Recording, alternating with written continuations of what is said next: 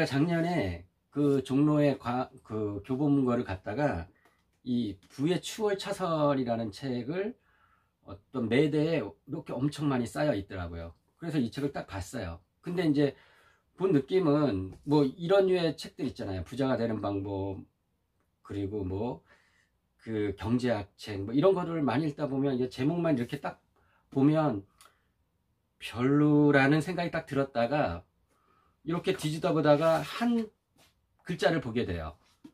람보르기니라는 차 아시죠? 그 람보르기니라는 차의 단어가 이 책에 딱 있더라고요. 그러니까 80년대 Cannonball이라는 영화에 등장했던 람보르기니 카운타크 모델 그 차를 보고 MJ 드마코 이 저자가 자기도 저런 차를 몰고 다니는 사람이 되어야 되겠다라고 꿈을 꿨대요. 그리고 나서 30대 초반에 뭐 엉망장자가 됩니다. 그러니까 저는 책을 고르는데 그냥 내용은 상관없이 그 람보르기니라는 단어 하나만으로 이 책을 이제 사게 된 거예요.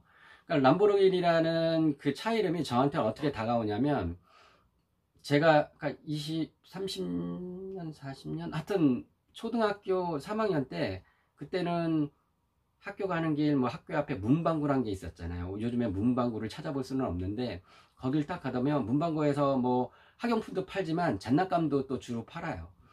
그때 봤을 때 그때 람보르기니 카운타쿠라는 그 장난감이 있었어요. 박스에. 저는 어떻게 차가 저렇게 멋있을 수가 있나.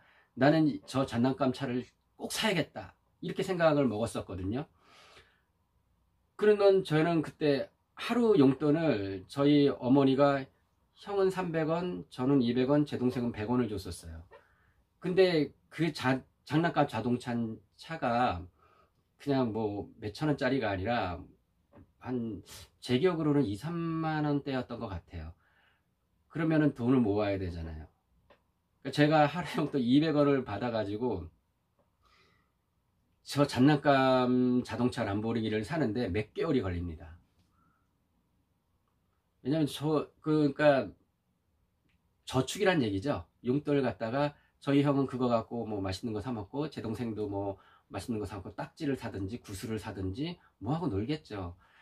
근데 저는 동생이 떡볶이 먹으러 가면 옆에 가서 한 입만 줘, 한 입만 줘 이렇게 왜 저는 돈을 모아서 람보르기니 장난감을 사야 되니까.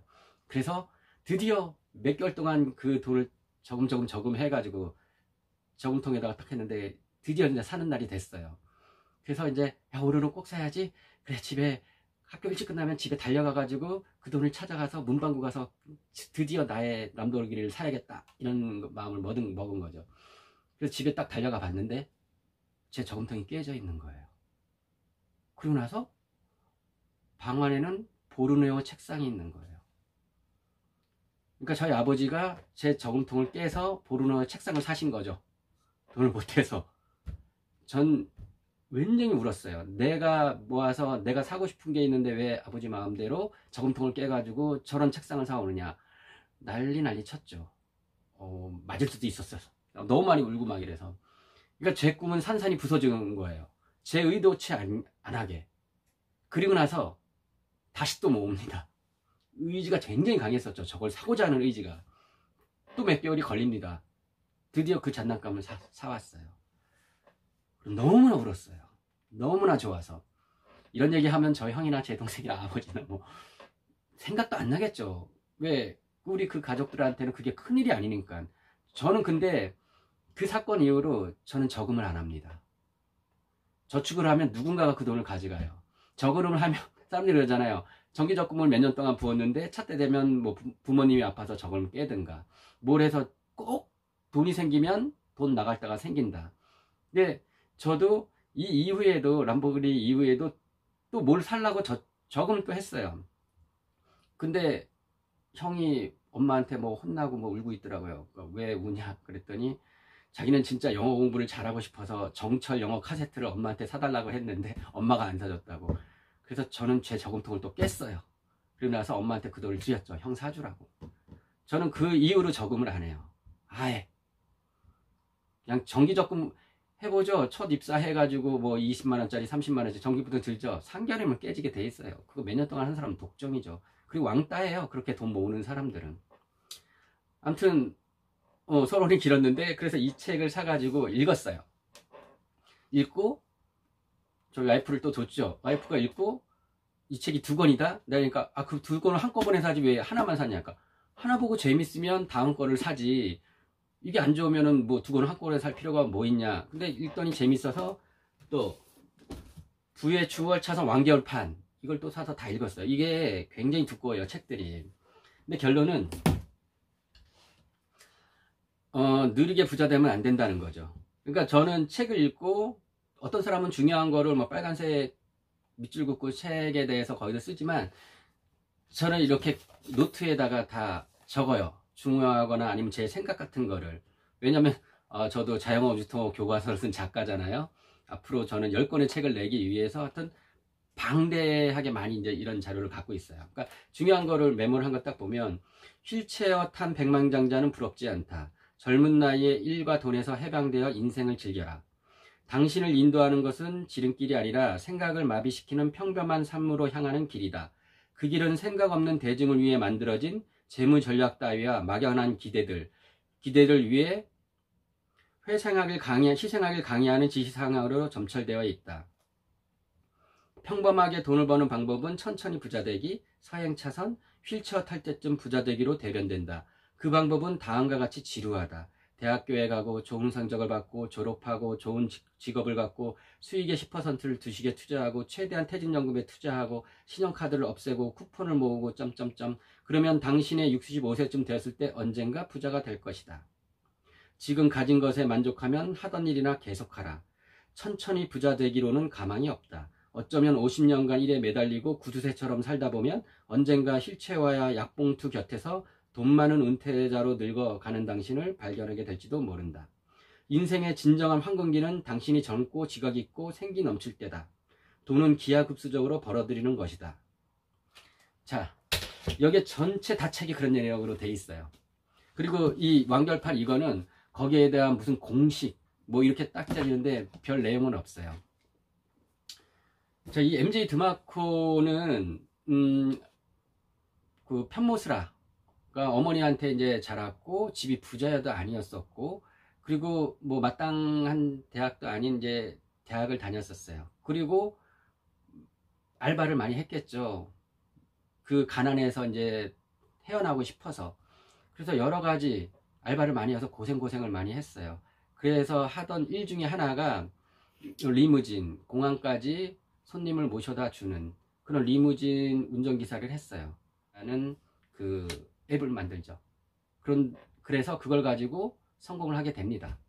그래서 그 성공한 그 자산 가지고 부동산을 투자를 하고 뭐 해서 진짜 지금 은퇴해서 은퇴의 삶을 살고 있어요. 그러니까 이런 책 강의도 다니고 무슨 뭐 SNS도 하고 무슨 뭐 모두 모임도 만들고 뭐 그렇게 해서 그냥 좋은 차에 좋은 집에 많은 재산에 그냥 사치향작을 즐기면서 은퇴해서 살고 있어요.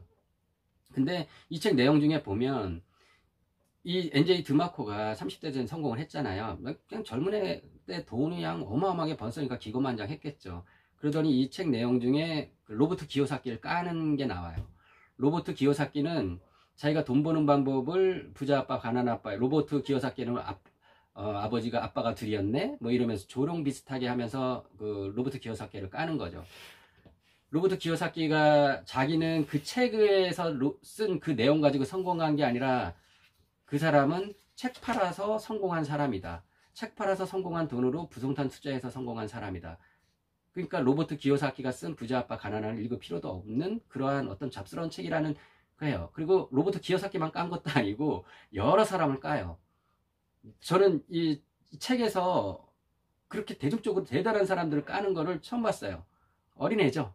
서린 살이면 어린애죠. 어린애니까 기고만장해서 그렇게 깠겠죠. 근데 뭐 마흔 한편으로는 그 후련하기나 할까? 뭐 그런 것도 있어요. 그러니까 저도 뭐 성공하게 관한 책, 부자가 되는 책을 다른 사람보다 많이 읽죠. 여기 여기도 다 거의 다가 이제 그런 책들이니까 저쪽 책장에도 그런 책들이니까. 근데 제가 볼 때는 MJ 드모크가 로버트 기어사키에 깔 정도의 수준은 아니라고 보거든요. 로버트 기요사키는 1940년에 태어났고 하와이에서 태어났어요. 그리고 미 해군 사관학교를 졸업을 하고 베트남에 참전한 장교 그리고 헬기 조종사였었습니다.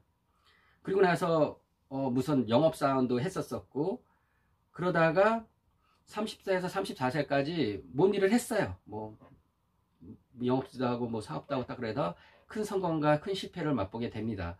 그러다가 그 자기 개발 분야의 선구자인 버긴스터 뮬러라는 박사님을 만나서 이제 생각의 전환을 대변환을 한 거죠.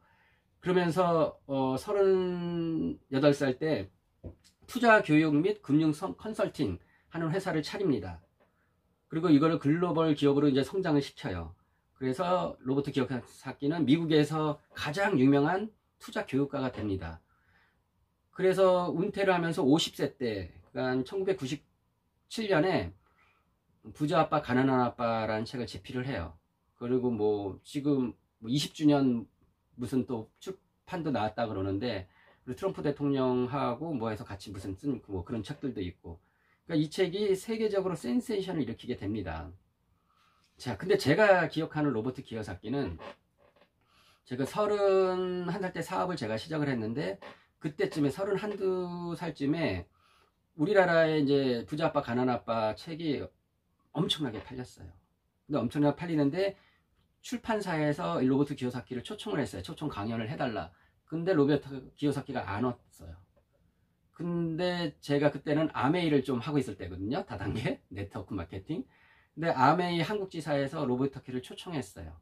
그래서 잠실 학생체육관 그 많은 데에 로버트 기요사키가 출판사 초청이 아닌 다단계 아메이의 한국지사 초청으로 온 게 된 거죠. 이때 그 입장료가 5만 원이었습니다. 저는 그 5만 원을 내고 그 들어가서 강연을 들었어요. 길게도 안 하더라고요. 그래서 그런데 로버트 기요사키가 부자가 된 거는 이런 얘기를 하더라고요.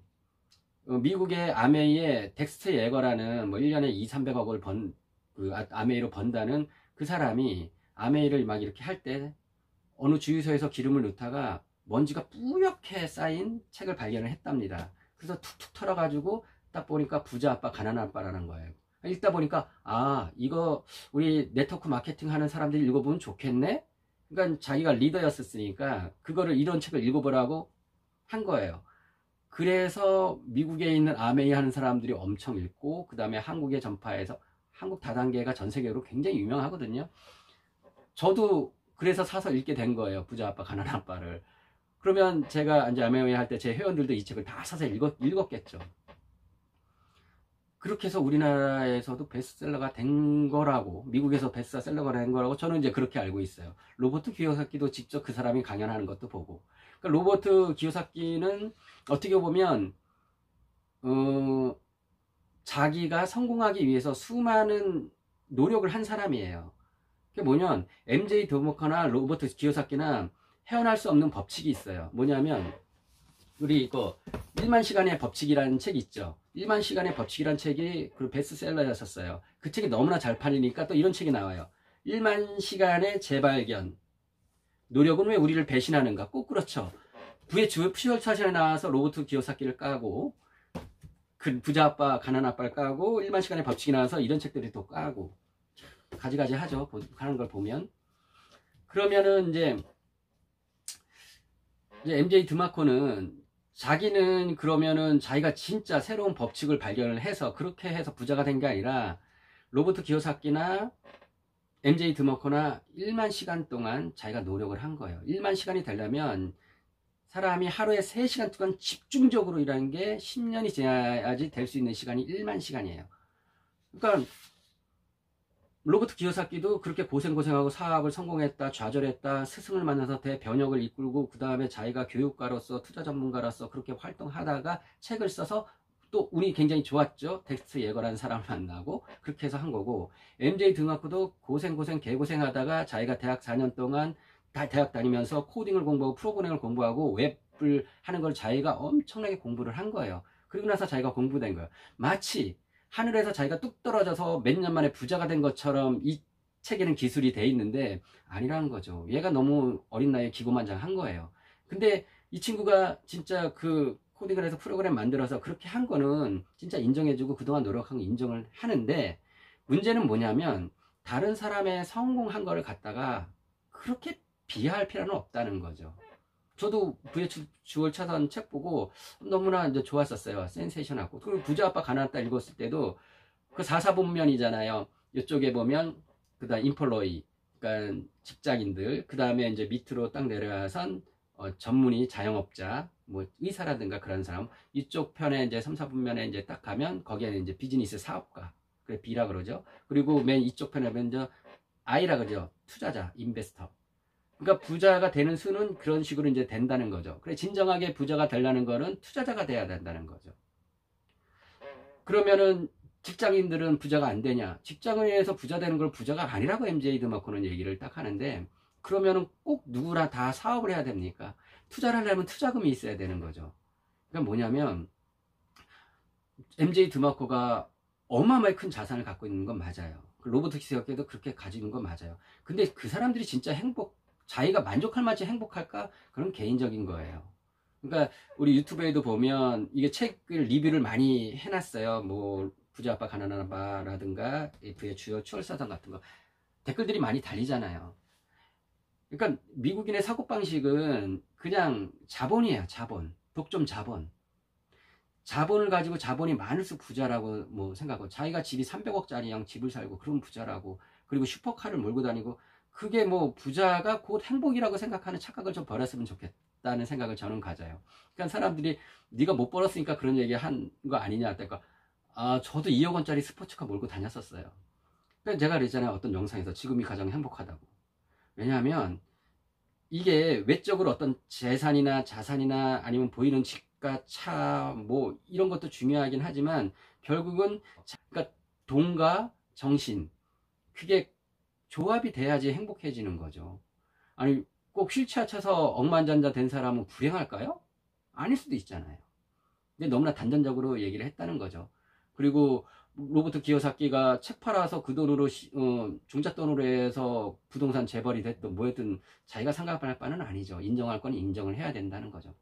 우리나라 사회가 아니면 뭐 전 세계 지구와 사회가 뭐냐면 서로 간에 인정을 안 한다는 데에서 문제가 있는 것 같아요.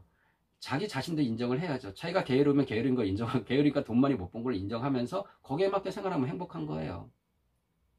뭐 5년 만에 부자가 되는 거하고 50년에 부자가 되는 거하고 50년에 부자가 되는 거 굉장히 뭐 약간은 잘못됐다 뭐 그건 아니다고 얘기를 하는데 그건 아닌 것 같아요 부자가 되는 과정 돈을 버는 과정도 자기가 쓰는 시간에 속하거든요 그 시간을 행복한 시간으로 만들 줄 알아야지 진정한 부자지 자기가 돈 많이 있다고 그렇게 부자는 아닌 것 같아요 아무튼 뭐 이렇게 이제 얘기를 해서 제가 로버트 기어사키를 편드는 것도 아니지만 로버트 기어사키처럼 그렇게 해서 부자가 된 사람도 있고 어떤 사람은 그렇게 얘기해요. 로버트 기어사키는 아, 돈을 종잣돈을 모은다. 조그만 그 집을 산다. 조그만 집을 산다. 조그만 집을 세 채를 산다. 조그만 집을 한 번에 팔은다. 그런 다음에 호텔을 산다. 결국은 이렇게 해서 부자가 되는 거라고 얘기를 하더라고요. 그 과정이 얼마나 힘들고 수많은 결정을 내리고 어떤 식으로 노력을 해야 될까요? 그런 부분을 생각해 본다면 그리고 이런 책들을 많이 읽고 자기가 거기서 빼낼 것만 빼내서 자기에 맞는 자기 생활에 맞는 경제적인 어떤 상황에 맞는 거를 잘 자기가 계획을 짜면 부자가 될 수 있어요 여러분들 뭐 백만장자가 아니더라도 10억 자산가 될 수도 있고 내가 뭐 3억만 있어도 난 부자다 생각하면 그거 모아서 더 많은 행복을 있는 취미를 만들면 되는 거고 아무튼 제 생각은 그렇습니다 백만장자 억만장자 뭐 천만장자 할지라도 자기 마음이 부자가 아니면 절대 행복할 수 없다. 오늘의 결론은 그것입니다. 다음 시간에 또 뵙도록 하겠습니다. 감사합니다.